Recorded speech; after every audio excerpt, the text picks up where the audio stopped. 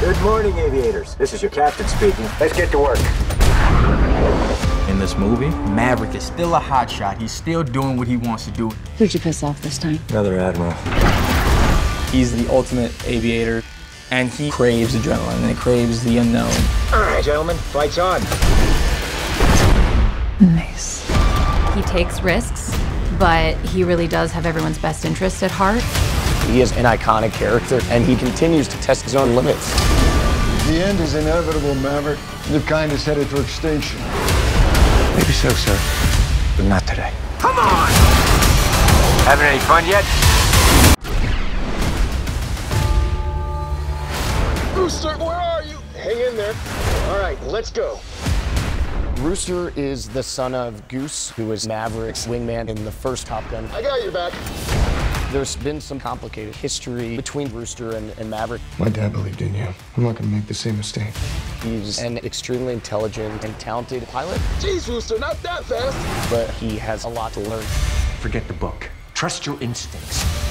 So Rooster learns to test his own limits. Show me what you're made of. Fight's on.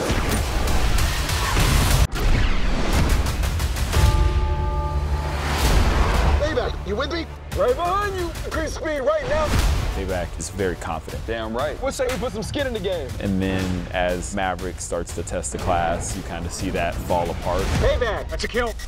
But he sooner realizes there couldn't be a better instructor than Maverick. I'm going to train you to take your aircraft to the breaking point. Let's turn and burn. Fellas, everyone here is the best there is. Who the hell are they gonna get to teach us? Phoenix is definitely a tough cookie. She doesn't underestimate anyone, and she's very loyal. You're my new backseater. He's not cut out for this mission. Don't take the bait, Bob. She's probably the leader of the group. Her leadership qualities come through quite a bit. Your call. What do you want to do? We're close. Stay on target.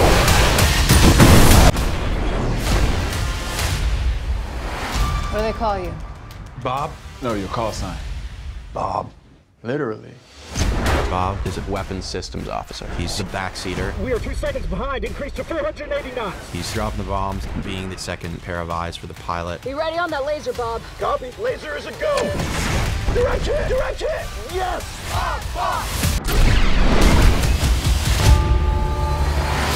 Who's gonna be team leader? And which one of y'all has what it takes to follow me? Let's go. Let's see what you got. Hangman's coming. Hangman, he doesn't fly well with the team, sort of lives on the edge. You put your team in danger. They couldn't keep up. He knows he's the best, and he's not here to make friends. Damn it.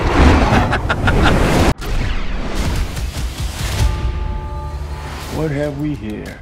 That's a kill. Coyote, you're good. Coyote is very, very competitive. He always feels that he has to prove himself. Try to stay with me. This guy needs an ego check. Good to see you, Coyote. Because he can command a team, his leadership presence, it makes him one of the best pilots. We're out of time. I'm increasing speed. Greetings, fanboy. Today's exercise is dogfighting. Whoever gets shot down has to do 200 push-ups. Damn! They don't call it an exercise for nothing, sir. Fanboy is a weapon system operator. He's a backseater. In the air, he's helping a pilot with everything in the cockpit. Check your laser. Fanboy. I got this. The mission he's training for seems almost impossible. Guys, we're falling behind. But Maverick pushes his pilots to think outside the box. Push beyond your limits. We really gotta move.